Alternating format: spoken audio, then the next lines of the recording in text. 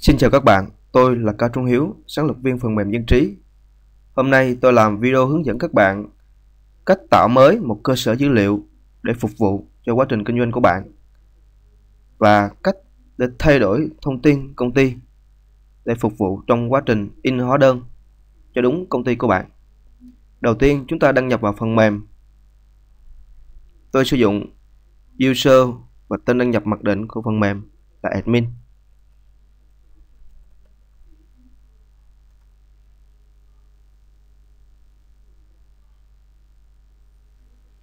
Như các bạn đã biết, phần mềm dân trí tự động tạo ra một cơ sở dữ liệu mẫu để các bạn có thể thử thao tác và kiểm tra các chức năng. Ví dụ ở đây, chúng tôi khai báo về danh mục hàng hóa. Tôi vào danh sách hàng hóa để xem các dữ liệu mẫu. Và đây là thông tin các những hàng hóa mà chúng tôi đã khai báo trước. Bên cạnh đó, thông tin in hóa đơn hiện tại là để thông tin mặc định của phần mềm dân trí. Vậy câu hỏi đặt ra là làm thế nào để tạo ra một cơ sở dữ liệu mới?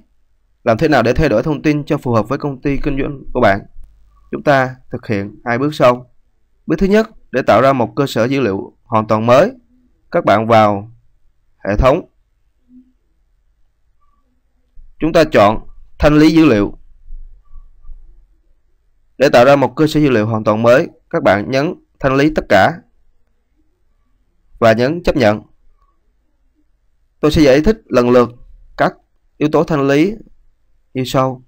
Thanh lý các chứng từ phát sinh có nghĩa rằng các chứng từ phát sinh sẽ bị xóa hết. Thanh lý các chứng từ phát sinh và đầu kỳ có nghĩa sẽ xóa sạch những chứng từ phát sinh và số liệu đầu kỳ. Thanh lý tất cả tức là chúng ta xóa tất cả các dữ liệu mẫu.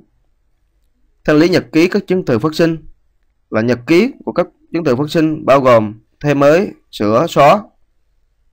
Thanh lý dữ liệu chứng từ đến ngày. Khi chúng ta check ở đây thì chúng ta sẽ chọn đến ngày nào đó.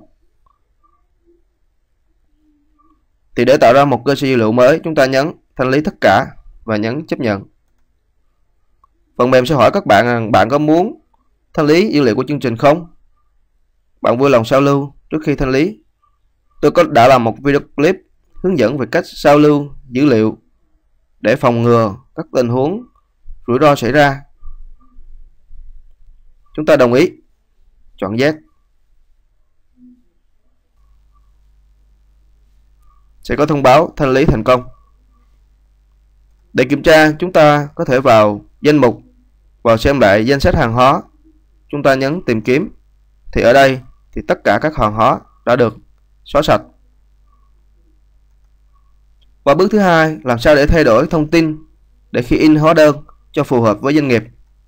Chúng ta thực hiện như sau. Chúng ta vào hệ thống, vào thông tin công ty.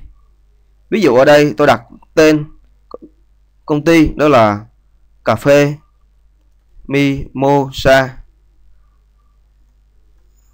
Tên quán là cà phê Mimosa. Địa chỉ là 468 Điện Biên Phủ, phường Phước Nguyên, thành phố Bà Rịa.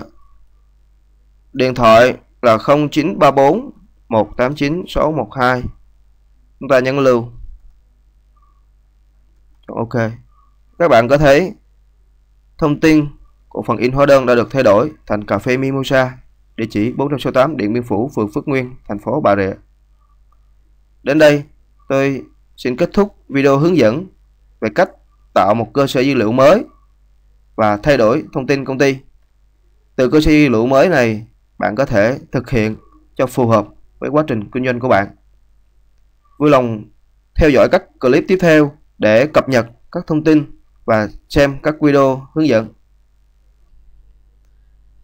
Cảm ơn các bạn đã chú ý lắng nghe video clip hướng dẫn của chúng tôi. Để theo dõi các clip tiếp theo, vui lòng nhấn nút đăng ký.